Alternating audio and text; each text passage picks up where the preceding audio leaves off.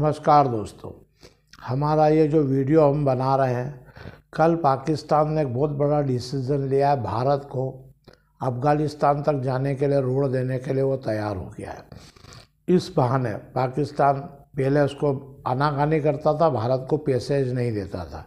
तो भारत ने अफ़गानिस्तान जाने का एयर पैसेज बना लिया और अफ़गानिस्तान में भारी मात्रा में निवेश करके अफ़गानिस्तान की आर्थिक स्थिति भी सुधार ली और अपनी भी सुधार ली। तो पाकिस्तान इतनी बुरी हालत में आ चुका है कि उसने भारत को ये पैसेज दे के ग्रीन सिग्नल दिया है कि हमारे देश से गुजर के आप अफ़गानिस्तान तक जाइए। और वहाँ से सेंट्रल एशिया के पाँचों देश, कजाकिस्तान, उज्बेकिस्तान, तुर्कमेनिस्तान, ताजिकिस्तान और किर्गिस्तान तक का रोड आप लीजिए। इस, अगर ये सही में इम्प्लीमेंट होता है तो मध्य एशिया के लिए भारत का व्यापार के रास्ते खुलेंगे, इससे पाकिस्तान को भी बहुत सारा पैसा मिलेगा रेवेन्यू मिलेगा। भारत और अफ़गानिस्तान सभी का भला हो जाएगा। अगर भारत पाकिस्तान अपनी दुश्मनी भुला दे और सिर्फ़ व्यापार के ऊपर ध्यान दे, ये विवादों को भविष्य के लिए टाल दे तो दोनों ही देश बहुत तरक्की कर सकते हैं। पाकिस्तान एक साल के अंदर ही सारी गरीबी से दूर हो सकता है। लेकिन ये पाकिस्तान के हुक्मरान और वहाँ के जो मिलिट्री ऑफिसर्स को ये बात समझ में आना चाहिए। अगर वो हो जाती है तो पाकिस्तान का बहुत बड़ा काम हो जाएगा। इसके अलावा भी कुछ घटनाक्रम ऐसी हुई है कि अफ़गानिस्तान के अंदर अमेरिका भी पाकिस्तान के दोगलेपन से नाराज़ है। सऊदी अरब और यूए के देश भी पाकिस्तान से नाराज़ है, क्योंकि वो चाहते हैं तेल के ऊपर से उनकी निर्भरता ख़त्म हो जाए। सऊदी अरब ने 2030 का एक विज़न बनाया है। जिसके तहत सऊदी अरब एक बहुत बड़ा शहर बना, बनाने जा रहा है, जिसका नाम न्यूम सिटी रखाया गया है। 2030 तक ये शहर बन जाएगा। ये बहुत, विश्व का सबसे बड़ा एरिया वाइज शहर होगा। वो चाहता है इसका दुबई की तर्ज पे विकास करना। इसके कारण उसने इसराइल के साथ भी अपने संबंध बहुत मधुर कर लिए है और उसको ये डर है कि कहीं पाकिस्तान के द्वारा कट्टरपंथी वहाँ फैलाए नहीं जाए। इसके कारण उन्होंने पाकिस्तान के लोगों को रोकना शुरू कर दिया। पाकिस्तान के पचास हज़ार के करीब वहाँ के मस्जिदों में जो मुल्ला लोग हैं, मौलवी लोग हैं, उनको भी वापस भगाने की कोशिश कर रहा है। पाकिस्तान से इसके हाथ, पाकिस्तान के इस कदम से हाथ पैर फूलने लगे हैं, क्योंकि बत्तीस लाख लोग यूएई और सऊदी अरब में पाकिस्तानी काम करते हैं। उनके अलावा उनको बहुत बड़ी मात्रा में नाइन बिलियन डॉलर्स का पैसा मिलता है। अगर वो मिलना बंद हो गया तो पाकिस्तान की हालत तो और ही ज़्यादा ख़राब हो जाएगी। इतने लोगों को वो कहाँ रखेगा और कैसे जॉब देगा?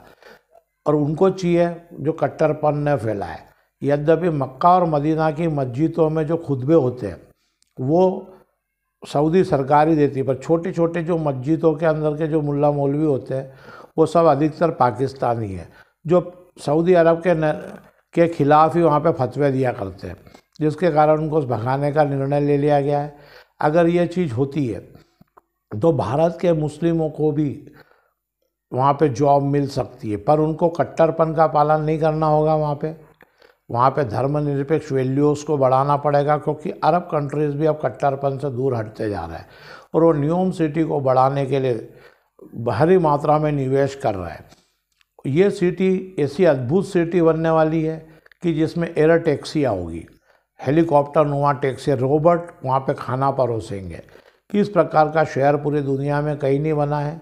2030 तक ये पूरे भारत में और कई देशों में निवेश कर रहे हैं पैसा, ताकि 2030 तक इनकी डिमांड तेल की बहुत बुरी तरह से गिर जाएगी। इलेक्ट्रिक के वाहन आ जाएँगे बाज़ार में तो इनका तेल कौन खरीदेगा? इसके कारण ये चाहते हैं कि उस से पहले ही हम निपटे। इसके लिए इस्लामिक कट्टरता इन्होंने त्याग दी है।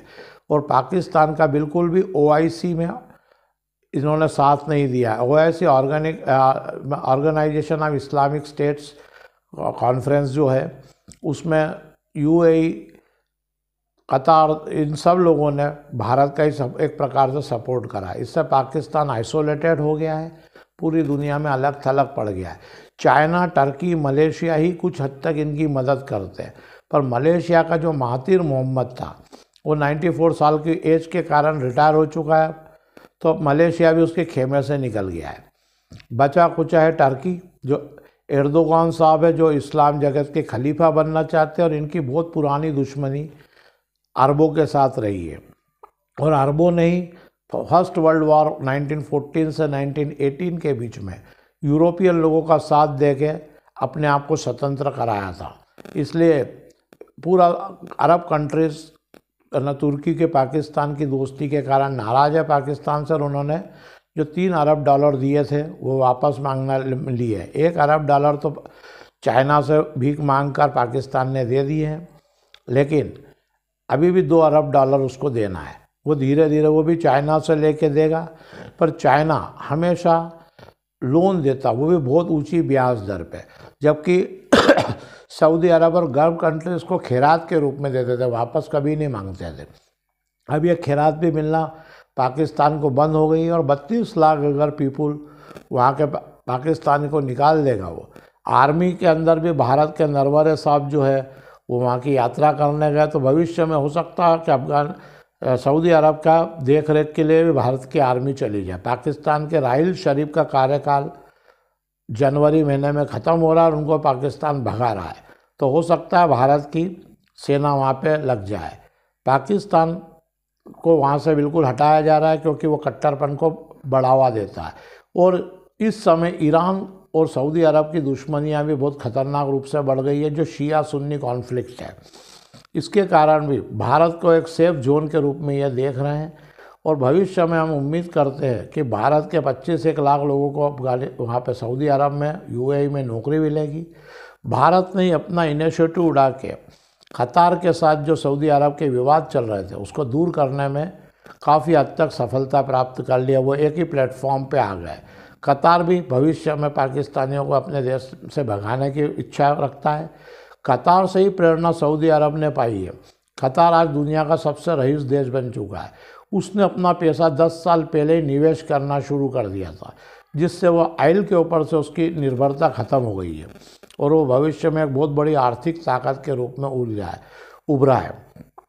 धीरे धीरे हम उम्मीद करेंगे कि पाकिस्तान का जो चाइना का जो सीपैक का मामला था, चाइना, पाकिस्तान इकोनॉमिक कॉरिडोर भी, वो पाकिस्तान में भ्रष्टाचार की भेंट चढ़ गया है। और चाइना ने उस पर पैसे लगाना बंद कर दिए तो इसके कारण साठ अरब डॉलर का, साठ बिलियन का उन्होंने पैसे ले रखे हैं। उसके बदले में उन्होंने गिव एंड टेक करके उनकी बहुत बड़ी ज़मीन भी चाइना भविष्य में पाकिस्तान की हथिया सकता है। इस प्रकार पाकिस्तान की हालत बहुत ज़्यादा ख़राब होती जा रही है। अगर वो भारत को काबुल तक की रोड का देता है तो दो साल के अंदर उस कर्जे से निपट सकता है। पर वहाँ का देखना इस्टॉब्लिशमेंट या सेना या कट्टरपंथी लोग इसको विफल करने के लिए कुछ कर सकते तो भारत को इस पर विशेष ध्यान देना होगा और पाकिस्तान की सरकार को भी विशेष ध्यान दे के आर्थिक संबंध दोनों के मज़बूत करते हुए दोनों को आगे बढ़ने की कोशिश करना चाहिए। आपको यह वीडियो अच्छा लगे तो कृपया इसको शेयर करें सब्सक्राइब करें और लाइक करें। धन्यवाद।